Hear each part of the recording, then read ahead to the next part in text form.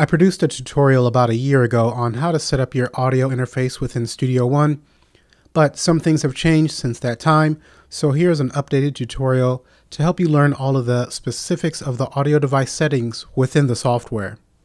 To start, we can access the Audio Setup tab by going to Studio One, Options, Audio Setup, and selecting the Audio Device tab. If you're on the Mac, go to Preferences, Audio Setup, and Audio Device.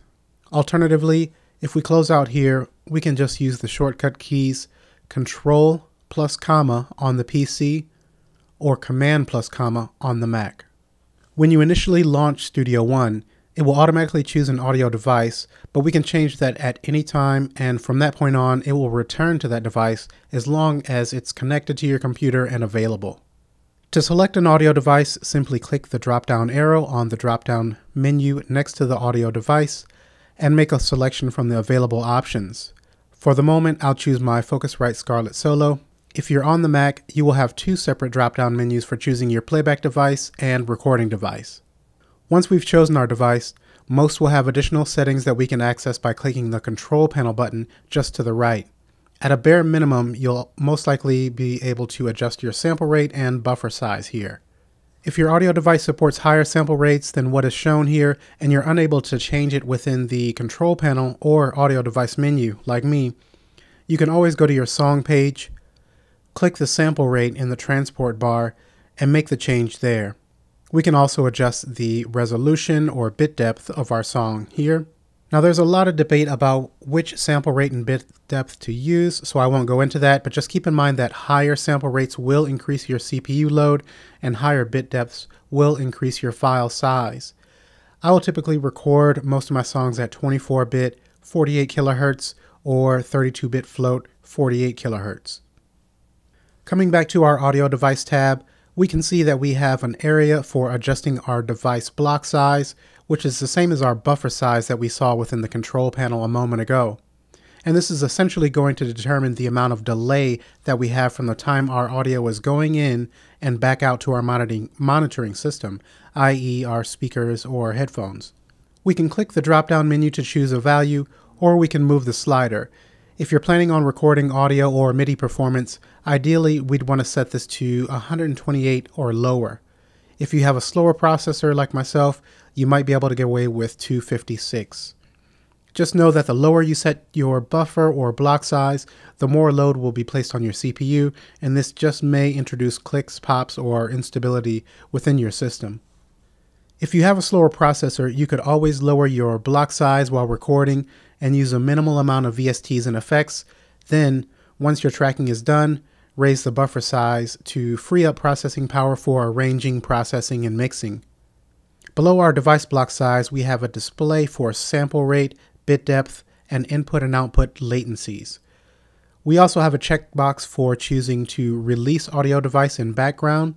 You would want to check this box if you would like other applications to have access to your audio device that you're using while you are also running Studio One.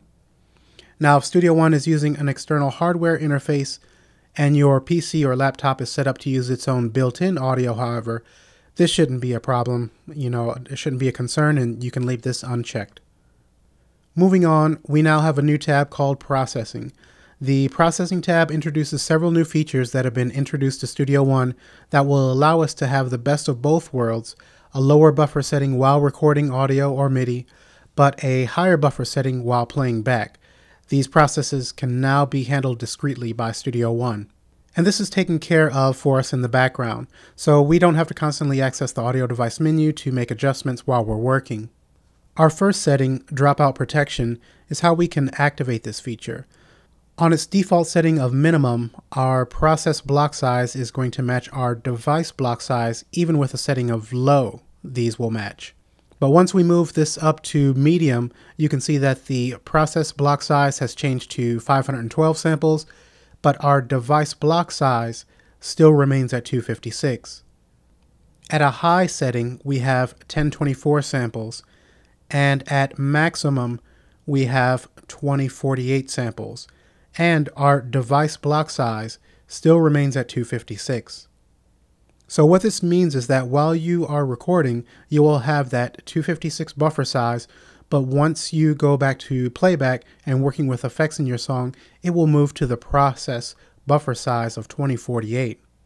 Now, there are a couple other things to take note of when we are working with the dropout protection. At the minimum and low settings, we're not able to access the Enable Low Latency Monitoring for Instruments checkbox. But once we move to medium or above, we do have access to that. We also have a couple of green colored Z's that pop up to the right of the audio round trip and instrument fields, which we'll cover in a second. Enable low latency monitoring for instruments basically allows us to apply low latency mon monitoring to VST instruments along with any effects plugins that we may be using on any audio channels set up for recording and monitoring. Keep in mind that inserted plugins that introduce more than 3 milliseconds of latency are not audible on any channel that is armed for recording or monitoring. These are temporarily disabled plugins and will return to normal function once the track has been record and monitor disarmed. There are also several other plug-in devices that cannot take advantage of the low latency monitoring, and these include analyzer plugins, effects chains that make up or that make use of splitter devices, and external effects that make use of pipeline. When we use dropout protection within our songs, there are several areas to pay attention to within the console. You will see that we have a Z icon at several locations within our console. One on the master out channel, one in our instrument panel within the console, and a third on our individual VST instruments. We can click these icons to temporarily disable low latency monitoring for an individual instrument noting that when deactivated, the instrument's power button turns blue, and when it is active, the power button is green. This just shows us which VST instruments uh, are taking advantage of the low latency monitoring. Within the instrument panel of the console, we can click the icon to disable the feature on all VSTs at once. Now the Z icon on the master channel will disable the feature for all effects plugins. Notice that the effects plugin's power buttons will be blue or green to indicate whether it's running in low latency mode. And so this is where the two green colored Z's come into play that we see in the audio device processes tab. These simply let us know that we can now make use of low latency monitoring on our VST instruments and or audio channel effects. We're also provided with a display of audio round trip and instrument latency times to the left of the uh, Z icons. The last item to cover in the Processes tab is the ability to take advantage of or not any low latency hardware monitoring or effects that we may have on our audio interface. Mine does not have these capabilities, so that's why this is grayed out. But if you do have an interface with these capabilities, but would prefer to use the native low latency monitoring within Studio One, this is the box that you would then need to check.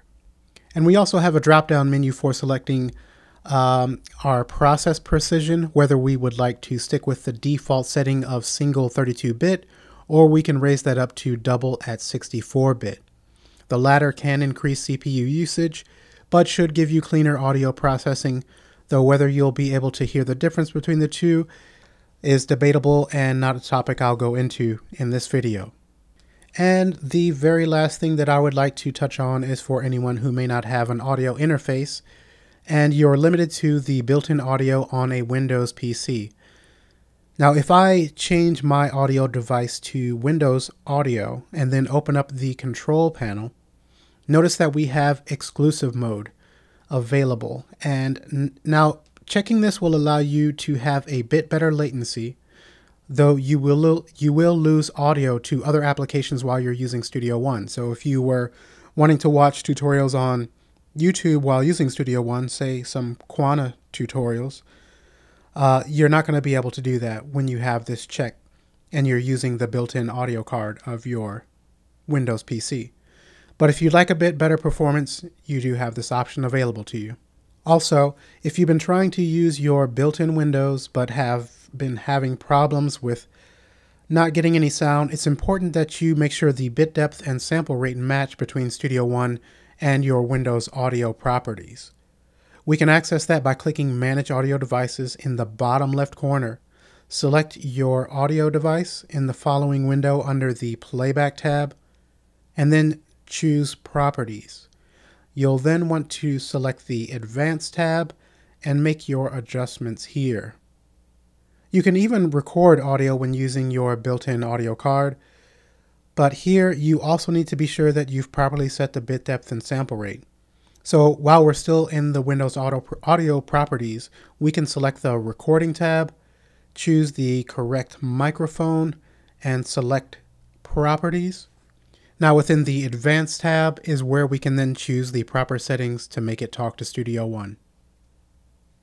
And this wraps up our tutorial on working with your audio device and setting that up within Studio One 3.5. I hope if you've been having any issues, this clears things up. If you still continue to have problems or have any other questions, feel free to leave a comment below and I'll try to get back to you as soon as I can. Thanks for watching. Take care.